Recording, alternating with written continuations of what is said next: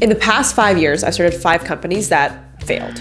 I've ran two e-commerce stores, Sauce Creative, PBJ App, and Eat Like. But a company that I started and haven't ended is my current one, X8 Media. Why haven't I closed on X8 Media yet, even though we've been through some crazy shit? I'm talking about running out of money and not knowing what to do in the next three months and being so stressed out. Today, I'm gonna be talking about what to do when shit gets hard and you wanna give up.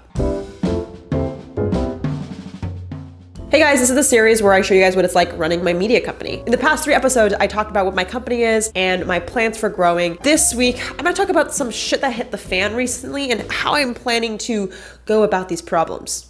A quick recap, I'm the founder of X8 Media, an influencer agency. I also have my new child, CRE8. We're a social token incubator slash creative agency, and I'm running these two projects while making YouTube videos. Yeah, it's pretty stressful. Whenever I have problems, whether it's not knowing what the fuck to do when a client yells at me or not having enough money to pay taxes, I really go with two solutions, two methods, okay? The first method is having a slow decision process, and the second is asking for help. Let me give you an example. So this week at X8 Media, we have a client, I think it's Whale 4. I forget which whale number I'm talking about. So Whale 4 was upset at me because our company promised to have these many creators and for some reason we can't fill the last slot because the client's not approving any of the ones we're pitching to them. Now this email back and forth has been going on for a while now, so this left me kind of fucking stressed. So whenever I have these moments, I always do my first method, which is having a slow decision process, aka getting off my phone. I remember on Sunday, I just got the email that like none of the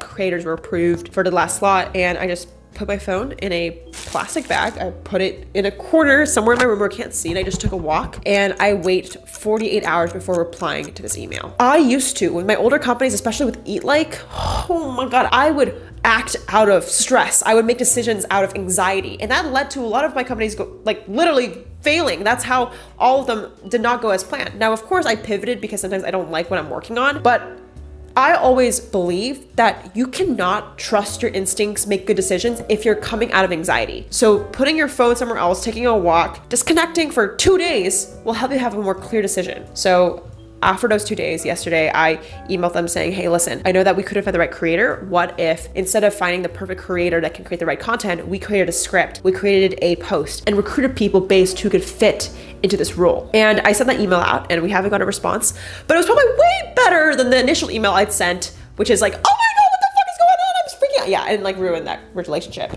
because you you do weird shit when you're stressed. The second thing this week that stressed me out is CRE8, my second child. We're helping creators launch NFTs and social tokens in Web3. At CRE8, we're having issues creating a social token strategy to launch with our creators, aka like how do you as a creator create a template that makes people want to interact with your token. Essentially, we're just so new at this that I don't know half the things I'm doing. So whenever I have this issue, I use my second method, which is asking for help. So what I do is I create a table of what I'm struggling with, and on the other side, I name somebody's name that can help me with this.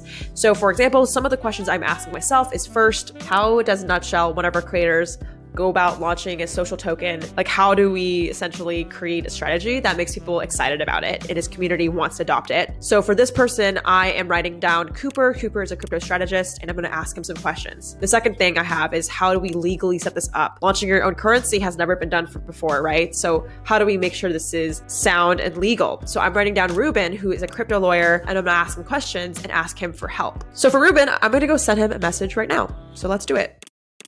I truly believe if you're struggling with making a YouTube channel, growing a business, becoming a photographer full time, you need to be able to master these two skills, which is when shit hits the fan, make a slow decision or ask for help. Or even better, do a combination of both. You don't know how many decisions I lost more money by making too many rapid decisions or not asking for help. And even if you can't find help, utilize the comment section. I cold DM a bunch of people. I made a whole video about this before, I'll link it below, of me just DMing Gary Vaynerchuk, people I look up to for help. As long as I can tell a story and provide provide some sort of value, you are able to build a team around people you don't know. At the end of the day, you either want to do it or not. I think you have to listen to your gut feeling. I get a lot of questions of people saying, hey Jay, should I quit? Should I keep going on YouTube? Should I keep pursuing this creative business? And you know when it's the right time to quit. Like you just have a gut feeling. But the only way you can get in touch with your intuition is if you're not filled with anxiety. Like if you're always anxious, you can't really trust your gut, right? You're just freaking out every minute. So the reason why I love my first advice of just taking a break away from your computer, taking a walk waiting 48 hours is because you're able to clear your mind and actually make the right decision based on your intuition. If you are a fellow creative and you're struggling to grow your business and you have some questions, I want you guys to ask me anything. I'm speaking with Adobe on June 9th, where you guys can come to an event and ask me anything. This event is free. Go swipe up the links in my description box, and I can't wait to meet you guys. Whether you're struggling on making better videos, growing a business, growing on TikTok, YouTube, I am here for you, okay? Let me be your bestie. I love you guys. Shout out to the comment Shout out to